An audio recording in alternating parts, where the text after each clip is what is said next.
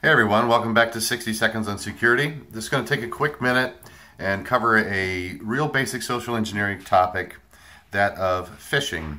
So phishing, spelled with a PH for those of you who aren't aware of it, is really this idea of sending someone an email, trying to get them to click on a link, download an attachment, enter data on another website that they shouldn't be for my purposes of being able to either infiltrate their PC, hack into their PC, steal their information, or potentially use their PC as a base for uh, moving sideways in a network within a small business or corporation. So phishing currently accounts for about 90% of successful hacking attacks that occur. All those things that you see in the news with the Sonys of the world, of the world, the targets of the world, those types of things. Um, a lot of these are led by a phishing campaign sent into an employee convincing them to do something that they shouldn't do within an email. So that's the background behind what phishing is. Now, in a couple of other videos, we're going to be talking about you know images and how images are used and what you can do to shut some of that off, attachments and those types of things. But in this video, I want to just appeal to your common sense, right? Or maybe some things that aren't necessarily common sense because we don't talk about them a lot. So in phishing, what you really are doing is trying to make yourself aware enough to consider Things like this. Do you know who's sending you an email? If you don't, don't open it.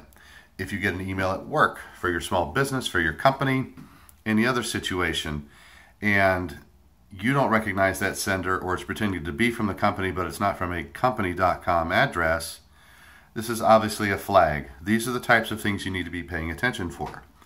Now, a lot of times what will happen is something will come to you that appears to be in context. It makes sense for your job.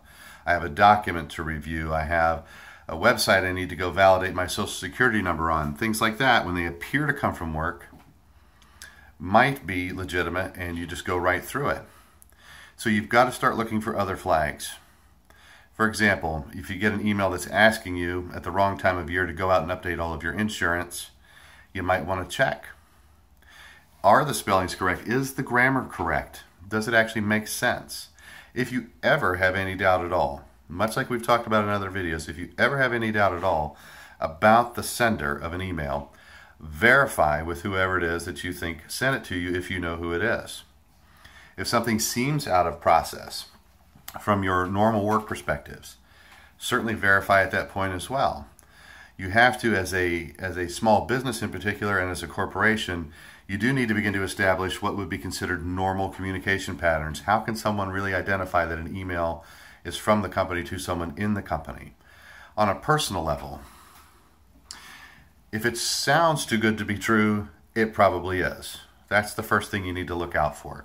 Free stuff, just forget about it, right? Put that stuff over in your junk folder and move on. If you get emails from your bank, if you get emails from financial institutions that you actually do business with, my suggestion is not to interact with the email at all, but go to a secure website that you know belongs to that company, that financial organization, and do your work that way. So this is true of any accounts that you have at all.